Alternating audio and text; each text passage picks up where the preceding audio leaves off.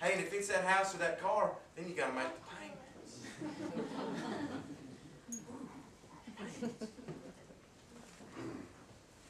if it's that relationship, you'll find that, hmm, I don't know. You know, I thought he or she was all these things, and I don't know now.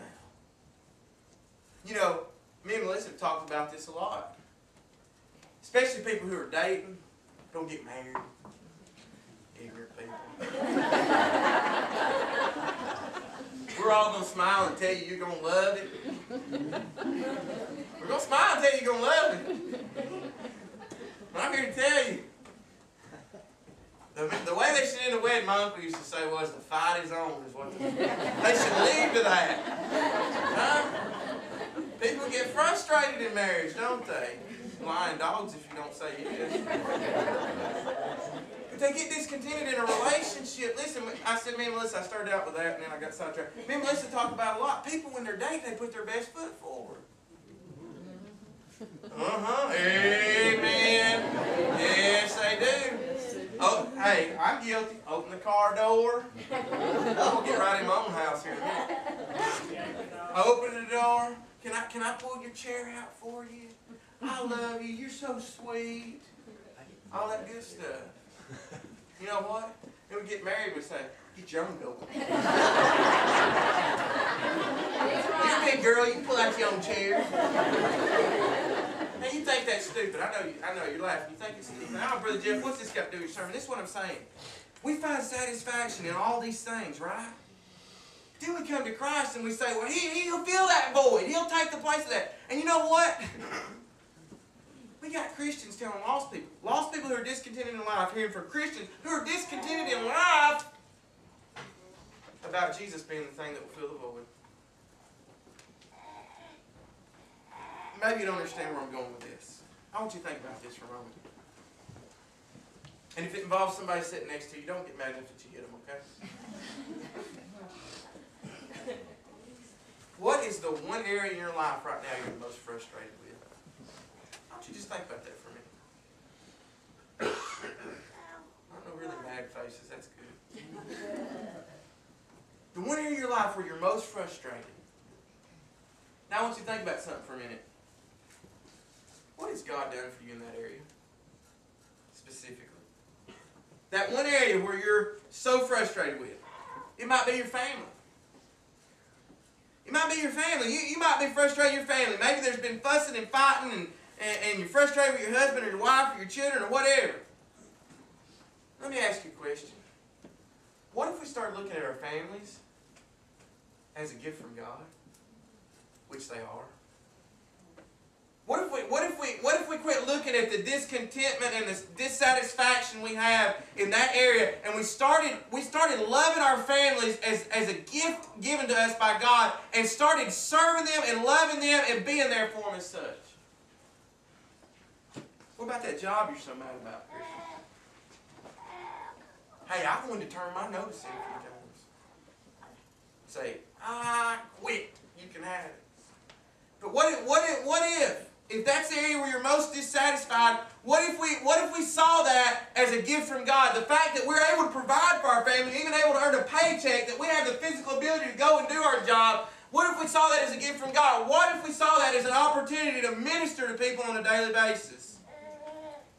Would that change whether we're satisfied where we're at? Maybe it's relationships. What if we viewed relationships that we have, whether they be our family, our friends, our colleagues, acquaintances, what if we viewed our relationships as, as divinely orchestrated by a loving Heavenly Father? Would we be satisfied with them then? Said, Brother Jeff, I don't know where you're going with this. You know, we're no different than the people of Jesus' day. See, if you go back just a few chapters in John chapter 6, you'll find that Jesus had, had drawn a crowd. Matter of fact, if you come on Wednesday nights, we're going to get there in the next few weeks and get to talk about this. Jesus fed the 5,000, right?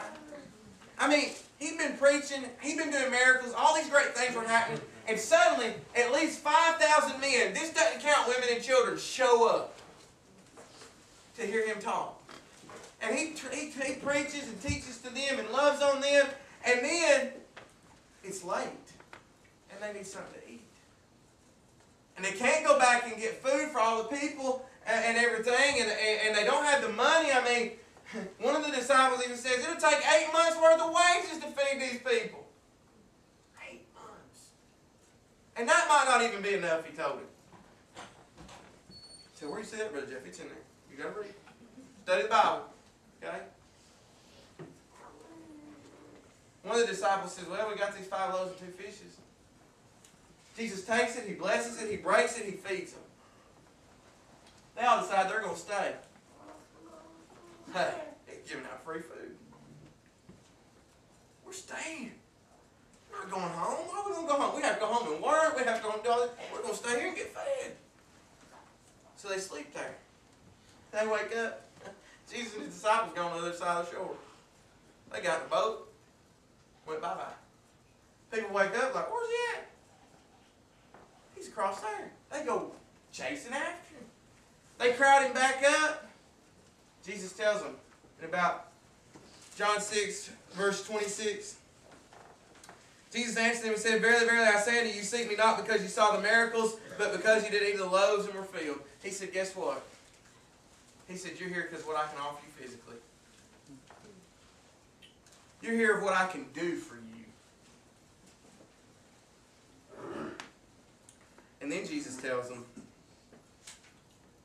that all he's got to offer is himself. No more free bread. No more fish and chips. It's me. Jesus offers himself to him to, to the people saying, I'm the bread of life. And what he was telling them is he's saying, I'm the only way to get to heaven. I'm the only way to live forever. But the sad thing is, and I call it the devil's verse in the Bible, in John 6, 66, Mark the beast. The sad thing is, when Jesus offered himself, guess what? He wasn't enough. Because the Bible says in John 6, 66, if you read it, it says, From that time many of his disciples went back and walked no more with him. People quit following Jesus when all he offered was himself.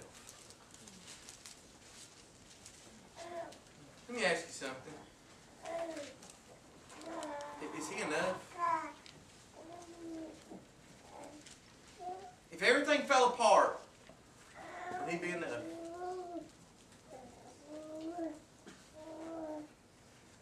If everything bent, broke, went wrong in life, would he be enough? You say, now wait a minute, Brother Jeff. We're not like them. You're not up here handing out free food. Jesus ain't offering us some meal ticket. We're here, we're worshiping. You miss the point if, if you don't see this. Jesus wasn't enough. But he is. You say, well, wait a minute, Brother Jeff. What, what do you mean? See, he is enough. But there's a lot of people who aren't satisfied as Christians. Oh yeah, I've seen some miserable Christians. I'm sure you have. Yeah, they're not satisfied. They're not satisfied in their walk. They're not satisfied with their life. They're not satisfied with their marriages. They're not satisfied with their jobs. They're not satisfied.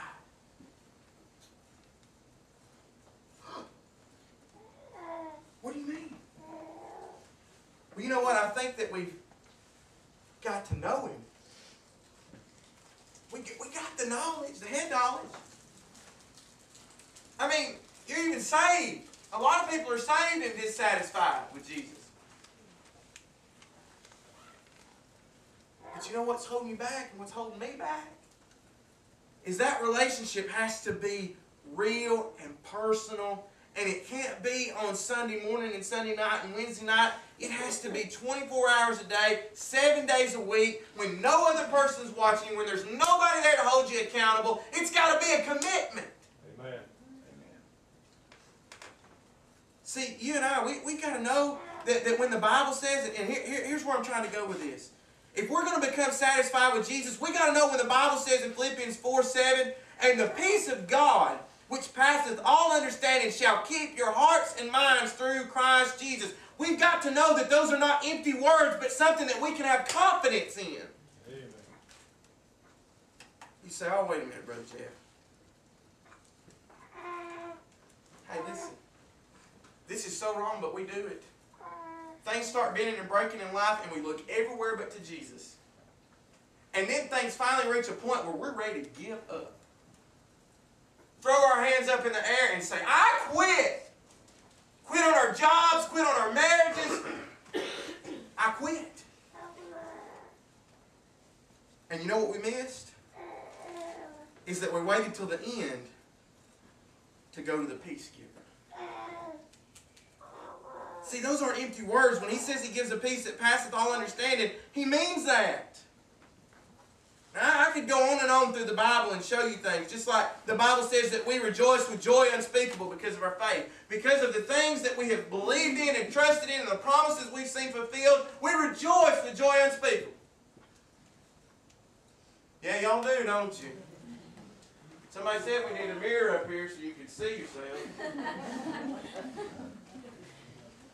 I'm, I'm serious. Some of us look like we've been weaned on lemon juice.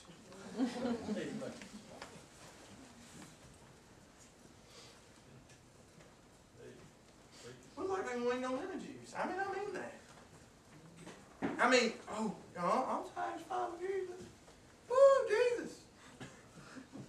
Oh, Brother Jeff, we just ain't as excited as you are. You might as well get over it. It ain't going to happen.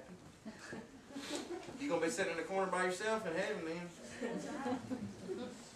I guarantee you the Lord won't stop me from rejoicing with joy unspeakable.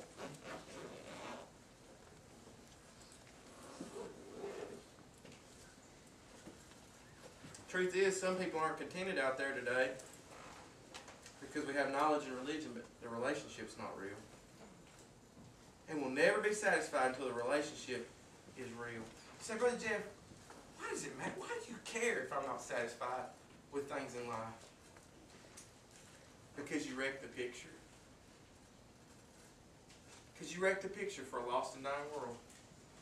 What do you mean? Everybody got their bulletin?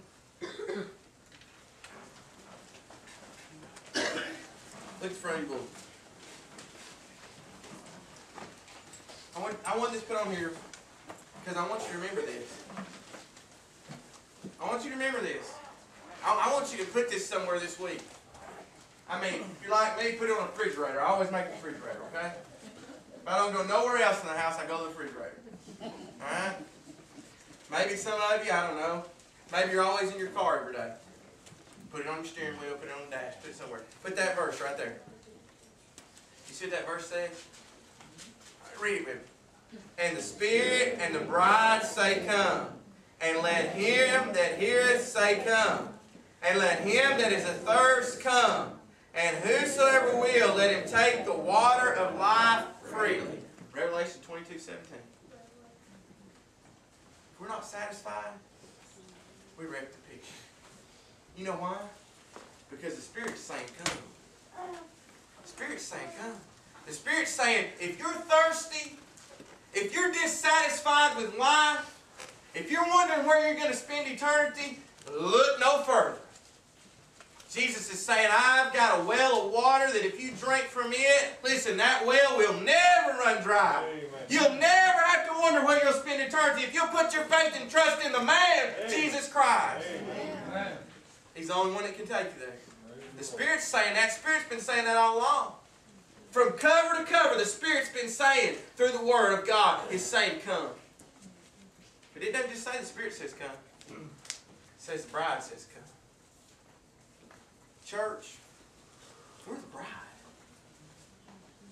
And, and, and we can't offer a lost and dying world empty words. Come and get the void filled. You've got this God-sized hole. Come and get it filled. And then walk around dissatisfied.